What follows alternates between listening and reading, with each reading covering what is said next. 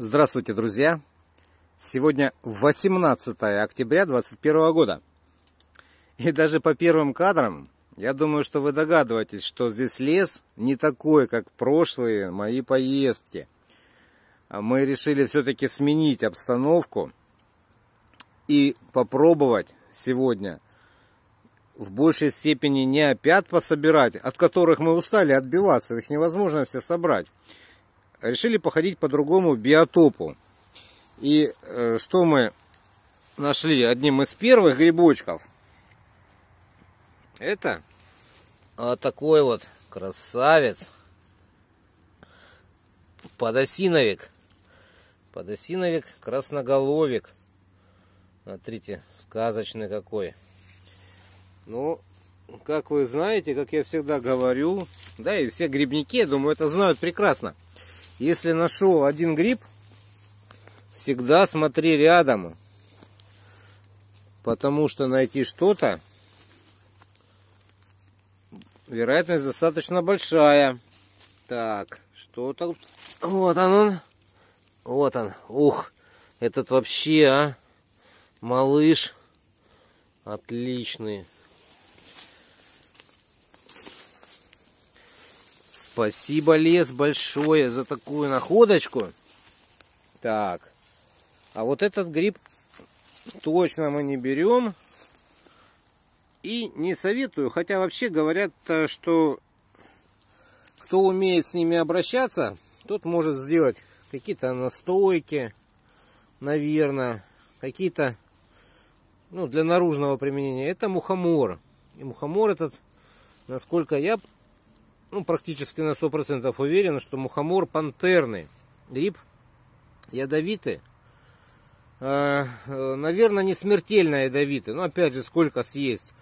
Два штуки, да, там, или килограмм. Килограмм, наверное, грибов съесть любых можно получить не очень хорошее самочувствие. Вот, э, по-моему, делают всякие курсы там типа микродозинга, но я в этом не специалист сам этим заниматься не хочу и вам советов давать не могу. Давайте посмотрим, что сегодня получится. Я надеюсь, что грибная охота должна быть интересной. Очень хочется верить, что успешной. А как, друзья, вы знаете, э, подосиновики бывают далеко не только красноголовики. У них много разных форм, и подберезовики. Кстати говоря, это все по большому счету один вид, да, лексинумов. Вот у нас еще и вот такие вот сероголовики встречаются. Но, скажу честно, красноголовых я, конечно, люблю собирать гораздо-гораздо больше. А самое большое удовольствие это подосиновик белоножковый. Очень хочется верить, что сегодня он найдется, но пока вот нет. Ну, по большому счету мы только начали. Так что надежды не теряем. Смотрите, какой красавец, а. Ай, шляпа. Первое местечко, друзья, которое мы сегодня посетили, а, нас не сильно одарило грибами. Но я думаю, что дело тут, наверное, в двух причинах. Первая причина, которая в принципе такая легко устранимая, это настройка взгляда, потому что искать их достаточно сложно. Вот под цвет листьев, сейчас листопад уже такой обильный, они достаточно хорошо маскируются, грибочки. Но ну, с этим бороться достаточно приятно и интересно, потому что чем тяжелее найти, тем ценнее находка. А вот вторая причина такая, которую ну, на Кубани, наверное, невозможно решить никак, потому что, э, наверное, больше грибников, чем здесь, нет просто нигде на квадратный, там, не знаю, километр. А это место явно мы шли уже по хоженому, и причем по такому свежехоженому. И вот пока получилась такая достаточно небольшой такой результат, даже, ну что тут, толком-то и дно не закрыли у корзинки. Но мы сейчас собираемся переехать. Божью коровку нужно выпустить. Красота. Вот так вот продолжаем поиски. Оставайтесь с нами, не уходите. Я думаю, что вдруг что-то будет интересное. В общем, с подосиновиками у нас, если брать в целом, не задалось. Ну, немножко насобирали, потом покажу итог. А, поэтому мы, конечно, переехали. И теперь будем смотреть еще всяко разно пытаться собирать. Что нам попадается? Ох, немножко даже подскользнулся. Масленок. Масленок зернистый. Вы знаете, удивительно. Вчера, вот, наверное, штук 40 маслят мы нашли. Они были все идеально чистые, не червивые. Просто поразительно. Вот такой вот. Но, как вы понимаете, маслятами мы ограничиваться сегодня не собираемся. И поэтому будем искать еще и другие грибы. И я думаю, что вы уже видите, это опята.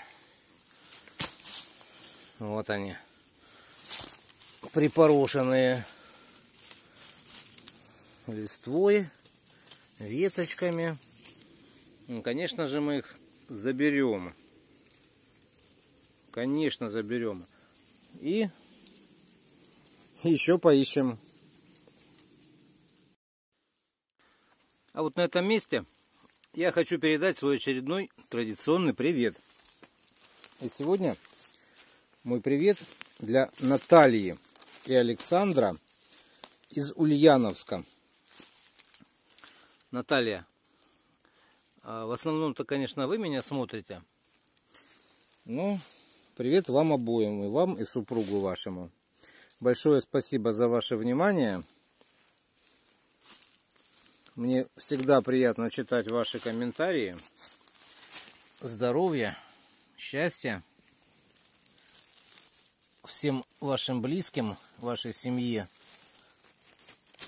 И, конечно же, когда вы ходите в лес, чтобы лес вас не обижал, а одаривал находками. Вот, например, такими рыжиками. Такими хорошими, красивыми и полезными. Ну, очередные опята. Причем, знаете, такие, такой размер, который хорош для многих вещей. Хоть для супа, хоть для жарки. Для мариновки можно, конечно, их и в мариновку использовать. Но уже не так. А вот эти вот мариновочные. И для кубанских местных грибников-то я еще не сказал, где мы сегодня собираем. Мы, конечно, тут несколько мест поменяли уже. Но все это окрестности горячего ключа. Города-курорта нашего. Смотрите, тут и замечательные попадаются вон какие и покрупнее. И вон, смотрите, и туда они идут. И возле... Вон там. Вон там семейка видна. Здесь практически штучные небольшие кустики. Чтобы их не раздавить. Как вы видели, да, из видео, сначала мы пытались собирать а, подосиновики, но то было место а, такое, скажем, а, подлесковое, не, не, не лес такой. А вот сейчас переехали в лес, где разные типы. И осина, и сосна есть. Ну, знаете, вот они вроде бы небольшими кучками здесь раскиданы. Ну смотрите.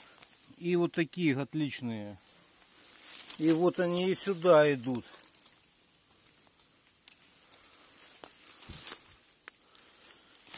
Ну, ну я прям доволен, доволен, да, честно скажу. И ведь в глаза-то сразу не бросаются. Постепенно вот иду и нахожу, нахожу. Так, друзья, надо собирать уже. Наталья там уже начала резать. Надо ей помогать. Вот он, нормальный размерчик. Опять. Да? Просто замечательный. Но знаете, удивительно, что удивительно, что попадаются еще опята гиганты. И вот мы как-то попробовали замариновать их. Вот такие вот, да, ну вот сравнения. Вы знаете, мне они очень понравились именно по вкусовым качествам. Еще есть там уже удобно. И вот он, кустик. Вот примерно таких гигантов. У них обычно здоровые толстые ноги. Вот интересно, почему так получается? Либо это какая-то разновидность. Я думаю, что еще может быть, когда грибница вот выстреливает совсем небольшим количеством экземплярчиков, штучные, а, получается силы тратятся не на а, весь куст, а уходят да, вот в эти буквально штучные экземпляры. Они получаются толстыми, здоровыми. Э, я такие очень люблю собирать. Друзья, можно подвести итог сегодняшнего похода. Мы уже вышли к машине, поэтому тут дорога совсем рядом. Если будут проезжать, уж извините. За звук, извините. А, первый заход, даже не первый, наверное, пару заходов у нас получились вот такое, вот такое количество подосиновиков. В основном красноголовиков. А в последующем же, видите, эту корзинку маленькую, которая у нас поменьше, даже не смогли добрать. То есть не все коту масленица. Вот приходится, как-то и так бывает, возвращаться домой. А на один раз взяли себе вороночника рожковидного черной лисички. Ну, пожарим ее. Также здесь у нас в корзинах, ну, где-то уже прикопанные, как вы понимаете, а, рыжики и маслята еще есть. Я считаю, что в целом а, итог сегодняшнего сбора достаточно удачным. А, большое спасибо лесу и лесовичкам местным. Вам всем, друзья, конечно же, полных корзин. Конечно же, счастья, здоровья, удачи. До новых встреч!